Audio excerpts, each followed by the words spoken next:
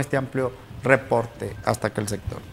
Cumpliendo con, el compromiso que tiene la presidenta con el deporte, se ha comprometido a hacer cuatro canchas híbridas en nivel nacional. Estas canchas son para tener partidos internacionales donde podemos tener la presencia de la selección, donde podemos tener partidos de la CONCACAF, donde ya se iniciaron con dos, San Pedro Sula y Tegucigalpa, Tegucigalpa que ya se finalizó, y ahorita andan haciendo el levantamiento de Juticalpa y La Ceiba.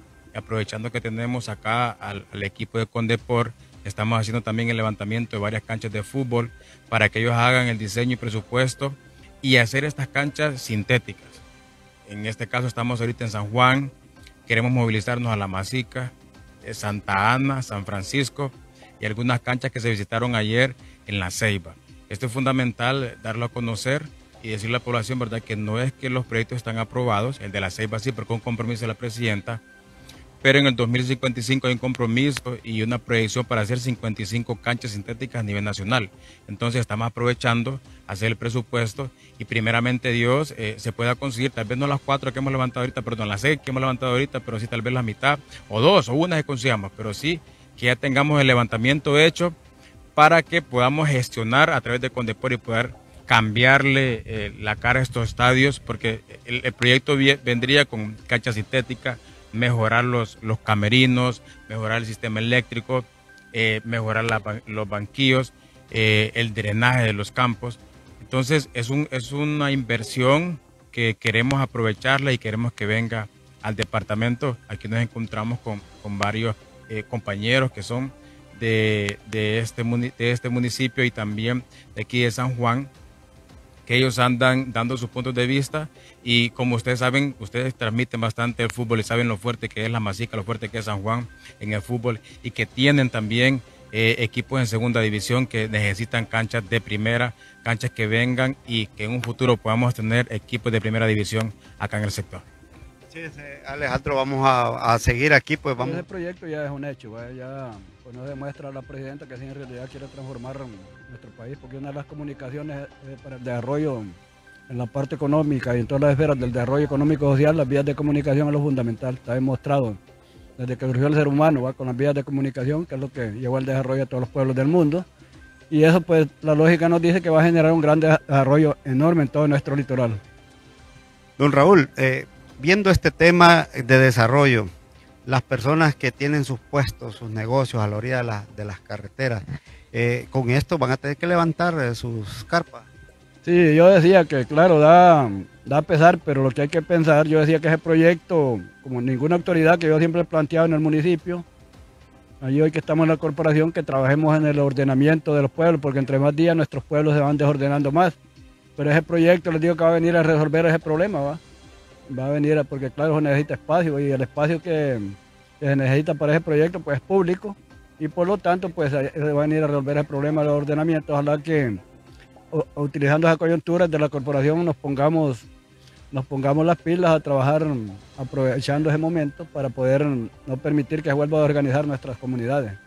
Porque eso es importante, limpiar la, zona, allá de, de, aquel que sabe que la cuestión es pública y se puso a, hacer algo de infraestructura.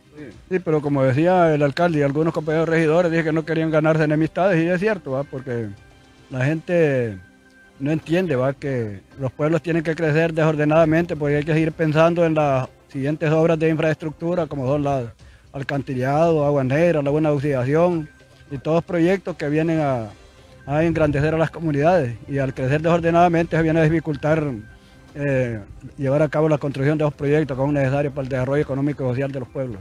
¿Qué mensaje le damos a la población?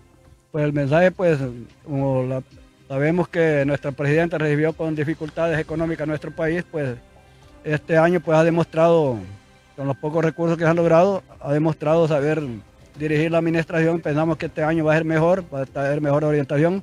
El país va teniendo mejores condiciones de estabilidad económica y por lo tanto en el aspecto económico y social va a haber mejor, mejor desarrollo para nosotros.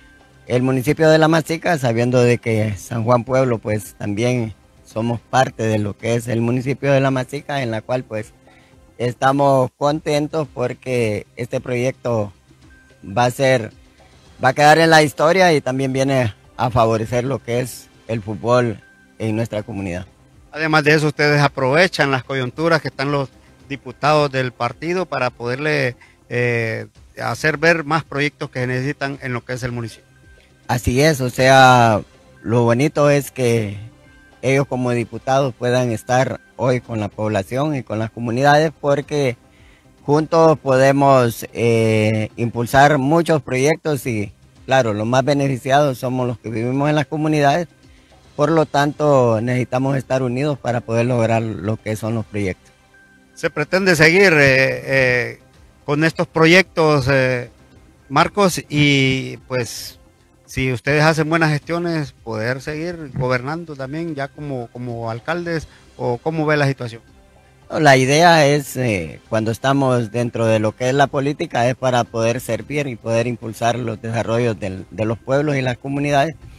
Claro, y, de, lo, de hecho, pues esperamos que eh, dejar un bonito legado y si el pueblo así lo determina, que sigamos representándolo, pues eh, está en las manos de ellos siempre y cuando porque lo que nosotros buscamos no es el beneficio personal, sino que el beneficio para toda la población. que eh, El gobierno es uno solo, ¿verdad? Y actuamos de manera conjunta, en equipo con los diputados, siempre realizando gestiones que favorezcan a las comunidades del departamento de Atlántida, trabajando no solo en la parte turística, sino en todo lo que suma al desarrollo de nuestras comunidades. Como usted bien dice, el, deporte, en el caso particular de la, del municipio de La Masica, con dos equipos de segunda división, genera una dinámica turística, ¿verdad? Porque vienen equipos de afuera, eh, algunos se quedan a dormir, otros eh, vienen a comer, traen afición, que genera un, movimiento económico y efectivamente, ¿verdad? Todo esto eh, viene a beneficiar turísticamente. Además que tenemos un departamento con la suerte, ¿verdad? De estar rodeado de áreas protegidas, playas, eh, comunidades con, cultura viva y todo esto nos vuelve, nos vuelve atractivos con, un potencial para el turismo que debemos aprovechar. La única diferencia cuando usted viene por tierra, eh, que ya sale de, de esas carreteras de allá y entra aquí a la zona norte, la diferencia en las carreteras. No, así es. De, hecho, eh, si ustedes han seguido los medios, desde el Ministerio de Turismo se impulsó muchísimo la construcción de la carretera CA13 a la cual se le denomina el corredor turístico. Incluso eh, con la ministra Yadira Gómez viajamos juntos a Arabia Saudita para buscar financiamiento para este, este tipo de, proyectos. Finalmente el gobierno, a través de un financiamiento del BESI, la presidenta tomó la decisión firme, ¿verdad?, de que la CA3 se va y eso nos invita a nosotros como turismo también a comenzar a trabajar en el desarrollo, a preparar las áreas protegidas con infraestructura